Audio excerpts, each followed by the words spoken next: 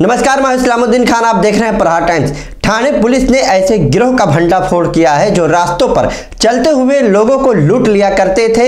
इन लोगों के 32 चीटिंग और आठ स्नेचिंग का मामला सामने आया है। इसका खुलासा थाने पुलिस ने पत्रकार परिषद करके दी। पुलिस ने बताया कि ये लोग इतने सातिर हैं कि लोगों को रास्ता बताने या फिर बैंक की जानकारी देने के बहाने से लोगों का पर्स या फिर सोने चांदी लूट लिया करते थे। पुलिस ने इस मामले में तेरह आरोपियों को गिरफ़्तार किया है, जिसमें से छह आरोपियों को चौदह तारीख तक पुलिस रिमांड पर भेज दिया गया है। निकालने या फिर उनके जो ज्वेलरी निकालने का प्रकार था। ऐसे तकरीबन 40 केसेस, जिसमें 32 केस ये चीटिंग और ये पुलिस बतावनी किंवा आणखी इतर बतावनी के हैं, और उसके बाद आठ केस स्नेचिंग के पुलिस ने डिटेक्ट किया है। इसके अंदर तेरह आरोपी को पुलिस ने अरेस्ट किया है। छः आरोपी अभी भी चौदह तारीख तक पुलिस रिमांड में है। इसके अंदर जो 40 केस डिटेक्ट हुए हैं, उसके अंदर कैश और ज्वेलरी है। तकरीबन 20 लाख का मुद्देमाल पुलिस ने अभी तक इसके अंदर डिटेक्ट किया है।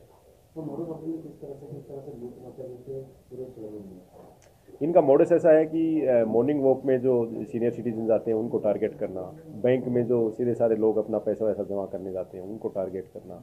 और उनको किसी दूसरा ही रीजन देना जैसे उनका जानकार बन के नातेवाईक बन के इस तरह से उनका दिशा भूल करना और इसमें एक आदमी उससे बात करने लग जाएगा और दूसरा जो आदमी है वो उसका ज्वेलरी है या फिर पॉकेट है या फिर कैश है वो निकालने के लिए गुनाह करेगा। तो ये कर कुछ इस्तेमाल करते थे इसमें ज़्यादातर जो आरोपी है वो ट्रेन से ही आना जाना था इसमें कोई व्हीकल का इस्तेमाल किया हुआ अभी तक सामने नहीं आया है। फिर भी जो और जो आरोपी इसमें अंदर जिनका इन्वॉल्वमेंट है उसके बारे में हम इन्वेस्टिगेशन करते हैं जिसमें कोई नई चीज़ें आएगी तो हम कवर करेंगे। कुछ पुलिस वाले में ऐसा पता चला? हमारे पास जो आरोपी है इसमें कोई पुलिस वाला नहीं है। इनकी जो बतावनी में कई बार ये वेरियस रीजन देते हैं उसमें ये रीजन दिया होगा तो हम ज़रूर इसका इन्वेस्टिगेशन करेंगे। तो हम लोग किसको टारगेट करते थे मैंने आपको बताया सीनियर सिटीजन या फिर जो बैंक में जो इनोसेंट लोग जो कैश पैसे जमा करने जाते हैं उनको ज़्यादा टारगेट सर ये जो कितना सोना मिला है इसमें कितने कैश मिले और ये आरोपियों का बैकग्राउंड क्या है? इसमें 20 लाख से ज़्यादा का मुद्देमाल हमें मिला है। इसमें तीस हज़ार रुपये कैश है और बाकी सर ज्वेलरी है। और इनका बैकग्राउंड है इसमें ज़्यादा रेगुलर काम धंधा करने वाले लोग नहीं हैं ये अनएम्प्लॉयड लोग हैं। तो पेट्रोलिंग का कितना फ़ायदा होता है?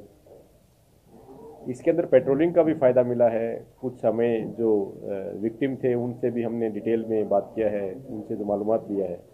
उसके साथ साथ हमारी जो डिटेक्शन स्किल्स है, उनका भी हमने इस्तेमाल किया है। ये सर अब तक कहाँ कहाँ चोरियाँ कर चुके हैं?